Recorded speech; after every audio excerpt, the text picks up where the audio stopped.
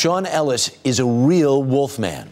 As a wildlife preservationist, he has eaten, slept, and even lived with wolves. He's been the subject of two documentaries and has written The Man Who Lives with Wolves. And Shaun Ellis is with us in the studio this morning. What is it like for you to be with them?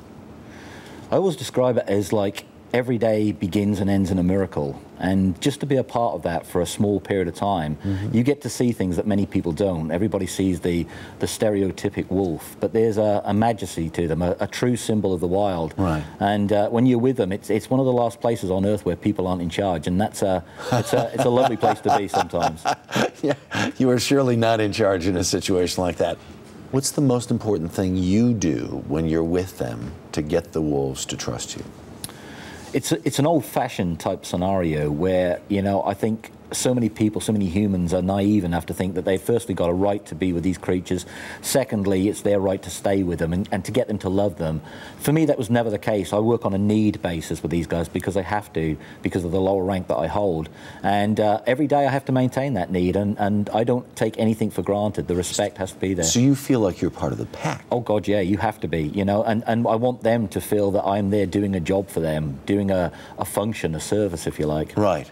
So you have no designs on becoming the alpha male or the or the leader of the pack in any way? No, no, that's a great question. I think firstly, you know, we have to establish what is an alpha, and for many young lads down down in, in New York tonight, mm-hmm. um, after a few beers, it would be, you know, arms get put out, chest gets puffed up, and they look for a fight wherever they can find it. That's not an alpha, not in the natural world. This is an animal that will use other creatures to buffer him, to save himself, to self preserve, because he carries the weight of knowledge and experience for the entire pack. Mm, and a responsibility. And a responsibility, yeah. Very interesting. Do you think that's the most important thing you've learned in your time with these animals?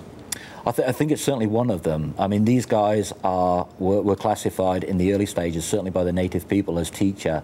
And I think that's their connection to us. I think they still have an awful lot to offer us. And having spent that time with them, um, they've taught me an awful lot about me, about the world that we live in, about what this world is going to become, and, and maybe even a glimpse of how they could help. Mm-hmm.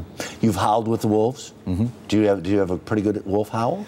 Yeah, we um, the howl for, for myself and the wolves is uh, a long range form of communication. Yeah. It's a bit like you and I speaking on a telephone, and uh, we'll give you a general locating howl. Okay. All right. Okay. Yeah. Here we go.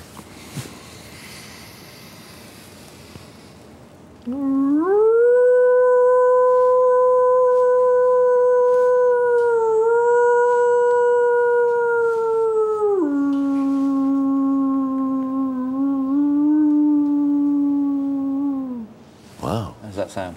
Wow. Let me try one on you. Yeah, go for it.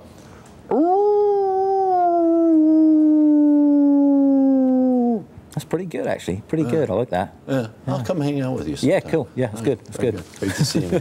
you too. Thank you so much. Do appreciate it. Shaun Ellis. To read an excerpt from Shaun's book, go to our website, earlyshow.cbsnews.com. I think it was actually a coyote, man.